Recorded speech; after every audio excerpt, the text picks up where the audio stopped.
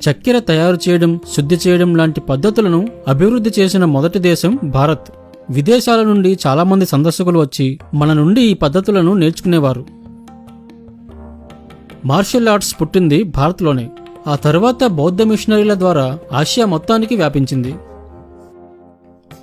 ఒక లక్ష యాభై ఐదు వేల ఆరు వందల పద్దెనిమిది పోస్టాఫీసులు ఇంకా ఐదు లక్షల అరవై ఆరు వేల మంది ఉద్యోగులతో ప్రపంచంలోనే అతిపెద్ద పోస్టల్ నెట్వర్క్ కలిగిన దేశం భారత్. తాజ్మహల్ నిర్మించడానికి ఇరవై వేల మంది ఇరవై సంవత్సరాల పాటు శ్రమించారు.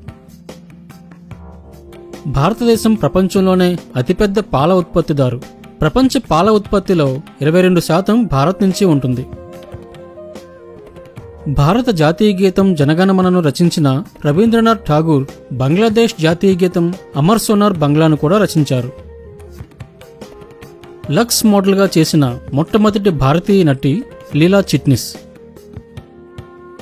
ప్రపంచంలో ప్రాచుర్యం పొందిన chess ludo snakes and ladders carroms ఈ ఆటలన్నీ భారత్లోనే కనిపెట్టారు.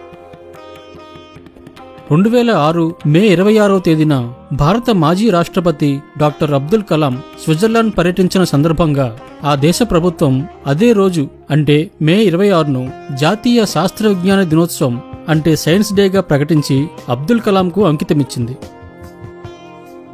స్టాట్యూ ఆఫ్ యూనిటీగా పిలువబడే సర్దార్ వల్లాభాయ్ పటేల్ విగ్రహం ప్రస్తుతం ప్రపంచంలోనే ఎత్తైన విగ్రహంగా నిలిచింది. మూడు వందల ఐదు అడుగుల ఎత్తులో ఉన్న ఈ విగ్రహం స్టాట్యూ ఆఫ్ లిబర్టీ విగ్రహానికి రెండింతల ఎత్తులో ఉంది.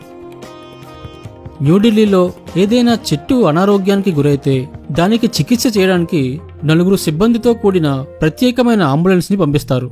ఇది రెండు వేల తొమ్మిది నుంచి అమల్లోకి వచ్చింది. కేరళలోని మరోటిచాల్ గ్రామంలో మందుబాబులకు మందు మాన్పించడం కోసం వాళ్ళకు చెస్ ఆడడం అలవాటు చేశారు. అలా ఆ గ్రామంలో ప్రతి ఇంట్లో చెస్ ఆటగాళ్ళు తయారయ్యారు. ఇంగ్లీష్ మాట్లాడగలిగే అత్యధిక జనాభా ఉన్న దేశాలలో భారత్ది రెండవ స్థానం యుఎస్ఏ మొదటి స్థానంలో ఉంది. భారత్ యొక్క మొట్టమొదటి రాష్ట్రపతి డాక్టర్ రాజేంద్ర ప్రసాద్ రాష్ట్రపతిగా బాధ్యతలు నిర్వహిస్తున్నప్పుడు అతను తన జీతంలో యాభై శాతం మాత్రమే తీసుకునేవారు. మిగతాది గవర్నమెంట్ ఫండ్కి ఇచ్చేసేవారు. అతి తక్కువ సమయంలో అంటే ఆరున్నర సంవత్సరాలలో ప్రపంచాన్ని చుట్టి వచ్చిన రికార్డు బెన్నీ ప్రసాద్ సొంతం. కుంభమేళా డెబ్బై ఐదు మిలియన్ల మంది యాత్రికులు హాజరయ్యే అతిపెద్ద ఘట్టం. ఇది ఎంత భారీగా ఉంటుందంటే ఆ జనసమూహం అంతరిక్షం నుండి కూడా కనిపిస్తుంది.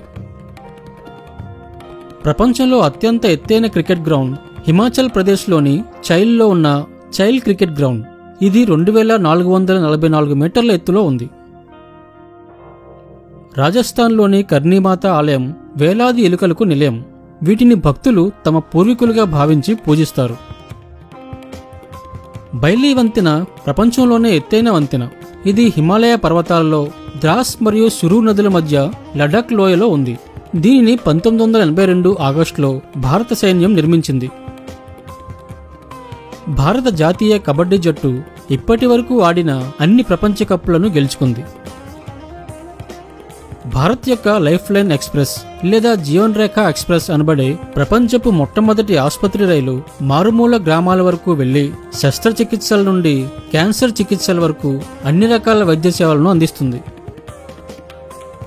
కంబోడియాలో ఉన్న హిందూ దేవాలయం అంకోర్ వాట్ ప్రపంచంలోనే అతిపెద్ద మత స్మారక కట్టడం. దీనిని పదకొండవ శతాబ్దం చివరిలో నిర్మించారు.